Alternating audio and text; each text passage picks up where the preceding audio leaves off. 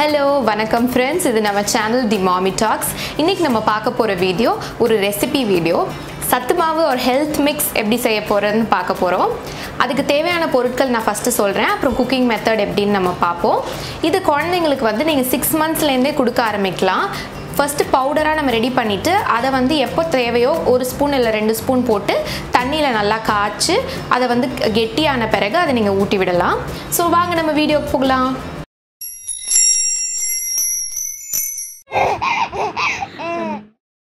தேவையான பொருட்கள் என்னென்னா மக்கா சோளம் இரநூறு கிராம் இது வெள்ளை சோளம் இரநூறு கிராம் கேழ்வரகு இல்லை ராகின்னு சொல்லுவாங்க இரநூறு கிராம். இது கம்பு சிறுதானிய வகையில் உள்ளது. இது தவிர நீங்கள் வந்து தினையோ இல்லை வேறு உங்களுக்கு கிடைக்கிற சிறுதானிய வகை சேர்த்துக்கலாம். இது இரநூறு கிராம். இது பொட்டுக்கடலை உடச்ச கடலைன்னு கூட சொல்லுவாங்க. இது இருபத்தஞ்சு கிராம். இது சம்பா கோதுமை இருபத்தஞ்சு கிராம். இது வந்து பாசிப்பயிறு பச்சை பயிறு அது இருபத்தஞ்சு கிராம். இது ப்ரௌன் ரைஸ் சிகப்பரிசி பத்து கிராம் சோயா பீன்ஸ் பத்து கிராம் ஜவ்வரிசி பத்து கிராம் பார்லி பத்து கிராம் பாதாம் இருபது கிராம் வேர்க்கடலை இருபது கிராம் முந்திரி பருப்பு இருபது கிராம் பிஸ்தா பருப்பு இருபது கிராம் மிதமான சூட்டில் ராகியை ஃபஸ்ட்டு ட்ரை ரோஸ்ட் பண்ணி எடுத்துக்கலாம். இந்த எல்லா தானியங்களையுமே வந்து நல்லா வாஷ் பண்ணிவிட்டு ஏதாவது அழுக்கு இருந்தால் ரிமூவ் பண்ணிவிட்டு அதுக்கப்புறம் வெயிலில் காய வச்சு அதுக்கப்புறம் எடுத்து வச்சுக்கோங்க. அப்புறம் நம்ம இப்படி வறுக்கலாம். பொன்னிறமாக வறுத்த பிறகு இதை நீங்கள் தனியாக கொட்டி வச்சுக்கோங்க. அடுத்தது வெள்ளை சோளத்தையும் இதே மாதிரி வறுத்து எடுத்து வச்சுக்கலாம். நல்லா வறுத்தாச்சு இப்போ இதே தனியாக எடுத்து வச்சுக்கலாம். அதே மாதிரி சோளத்தையும் நல்லா வறுத்து எடுத்துக்கணும். இந்த வெள்ளை சோளம் அப்புறம் மக்கா சோளத்துலலாம் வந்து நிறைய ஃபைபர் கண்டென்ட் இருக்குது குழந்தைங்களுக்கு வந்து டைஜஷனுக்கு நல்லாயிருக்கும் அதே மாதிரி நம்ம ராகி வறுத்தோம் இல்லையா? ராகி வந்து நிறைய ப்ரோட்டீன்ஸ் நிறைய இருக்கிறதுனால குழந்தைங்களுக்கு அதுவும் ரொம்ப நல்லது. நம்ம வச்சுருந்த கம்பையும் இதே மாதிரி ட்ரை ரோஸ்ட் பண்ணிக்கலாம்.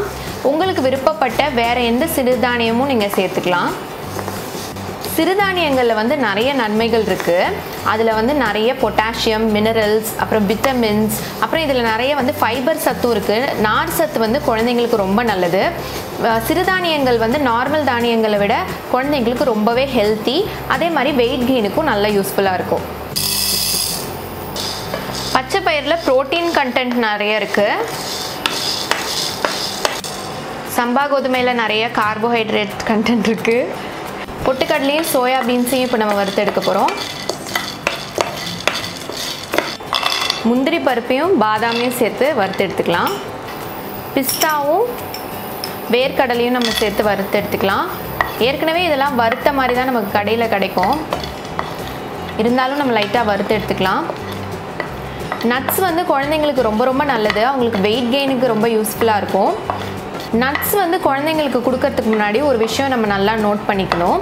நம்ம ஃபேமிலியில் யாராவதுக்கு வந்து நட்ஸ் அலர்ஜி இருந்துச்சுன்னா குழந்தைங்களுக்கும் அந்த அலர்ஜி இருக்கிறதுக்கு நிறைய வாய்ப்பு இருக்குது அதனால நீங்கள் என்ன பண்ணணும்னா ஒரு ஒரு நட்ஸாக ஒரு ஒரு நாள் கொடுத்து பாருங்கள் அவங்களுக்கு எதுவும் அலர்ஜி வரலனா அதாவது ரேஷஸ் அரிப்பு அப்புறம் லூஸ் மோஷன் இந்த மாதிரி ஏதாவது அலர்ஜி இல்லைன்னா நீங்கள் எல்லா நட்ஸையும் கொடுக்கலாம். பட் ஃபர்ஸ்ட் ஒன்று ஒன்றா கொடுத்து பார்த்துட்டு எப்படி இருக்குன்னு அது பார்த்துட்டு அதுக்கப்புறம் நீங்கள் எல்லா நட்ஸையும் இந்த மாதிரி சேர்த்து வச்சு கொடுக்கலாம்.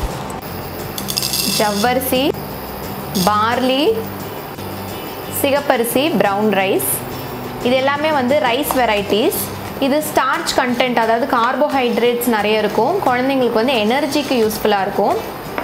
இதெல்லாம் நம்ம இப்போ வறுத்து எடுத்து வச்சாச்சு. இதை மெஷினில் கொடுத்து நீங்கள் அரைச்சி எடுத்து வச்சுக்கோங்க. மெஷினில் அரைக்க முடியாதவங்க ஒன்று ஒன்றா மிக்சியில் போட்டு அரைச்சி எடுத்து வச்சுக்கோங்க. இதை வந்து ஒரு ஜாரில் நீங்கள் ஸ்டோர் பண்ணி வச்சுக்கோங்க. தேவையான போது நம்ம எடுத்து சமைச்சிக்கலாம். மாவு இப்போ அரைச்சி ரெடியாக இருக்குது இதில் மூணு ஸ்பூன் நம்ம போட்டுப்போம். இதில் மூணு டிஃப்ரெண்ட் ரெசிபீஸ் நம்ம செய்யலாம். இதில் போதுமான அளவுக்கு தண்ணி ஊற்றி மிக்ஸ் பண்ணிட்டுக்கலாம். ஒரு தோசை மாவு கன்சிஸ்டன்சிக்கு நம்ம ரெடி பண்ணணும். இப்போ வந்து ஒரு சின்ன தோசை ஊற்ற போகிறோம் இப்போ கொஞ்சம் லைட்டாக நெய் ஊற்றிக்கலாம் நெய் வந்து குழந்தைங்களுக்கு வெயிட் கெயினுக்கு ஹெல்ப்ஃபுல்லாக இருக்கும். தோசை ரெடி இப்போ வந்து கஞ்சி செய்ய போகிறோம் பாத்திரத்தில் ஒரு ஸ்பூன் அளவுக்கு கரைச்சி வச்ச மாவை போடுறோம். தேவையான அளவுக்கு நிறைய தண்ணி ஊற்றியே நல்லா காய்ச்சுங்க. இது ஆறு மாத குழந்தைங்க நீங்கள் கஞ்சி மாதிரி கொடுக்கலாம். கொஞ்சம் பெரிய குழந்தைங்களுக்கு நம்ம தோசை அந்த மாதிரி வேறு வெரைட்டிஸ் செஞ்சு கொடுக்கலாம். கஞ்சிலையும் வேணும்னா ஒரு ஸ்பூன் நம்ம நெய் போட்டுக்கலாம். ரொம்ப நல்லது. கஞ்சி இந்த திக்னஸ் வந்தோடனே ஆஃப் பண்ணிடலாம். ஆற வச்சு குழந்தைக்கு ஊட்டலாம். கரைச்சி வச்ச மாவில் இப்போ நம்ம வந்து மினி இட்லி செய்ய போகிறோம் நீங்கள் பெரிய இட்லி தட்டில் கூட செய்யலாம். எண்ணெயோ இல்லை நெய்யோ வந்து அந்த குழியிலலாம் தடவிக்கோங்க. அப்புறம் இந்த மாதிரி அழகாக இட்லி ஊற்றி குழந்தைங்களுக்கு கொடுக்கலாம். ரொம்ப விருப்பப்பட்டு சாப்பிடுவாங்க. இட்லி ரெடி ஆயிடுச்சுன்னு நினைக்கிறேன். ஓப்பன் பண்ணி பார்க்கலாம்.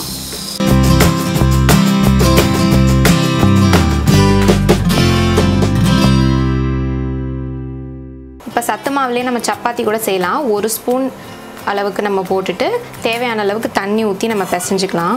சப்பாத்தி மாவு மாதிரி பிசைஞ்ச மாவை வந்து இப்படி நார்மல் மாவில் எடுத்து தட்டிட்டு நம்ம சப்பாத்தி மாதிரி உருட்டி எடுத்துக்கலாம். இது ஒழுங்காக ரவுண்ட் ஷேப்பில் வராது. வேணும்னா நம்ம இந்த மாதிரி கட் பண்ணி எடுத்துக்கலாம்.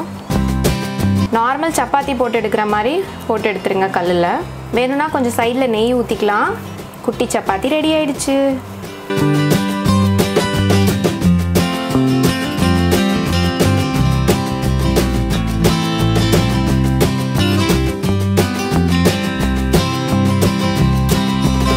இதை வந்து ஒரு நாள் விட்டு ஒரு நாளோ இல்லை டெய்லியும் கூட கொடுக்கலாம். ஒரு வேளை கஞ்சி மாதிரி.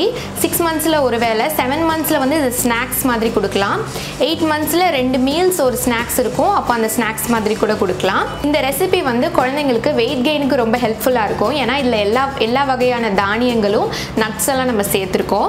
அதனால நீங்கள் இந்த குழந்தைங்களுக்கு கொடுங்க. எப்படி இருந்துச்சுன்னு எனக்கு கமெண்ட் செக்ஷனில் சொல்லுங்கள் இந்த வீடியோ உங்களுக்கு பிடிச்சிருந்ததுன்னா ஒரு லைக் கொடுங்க.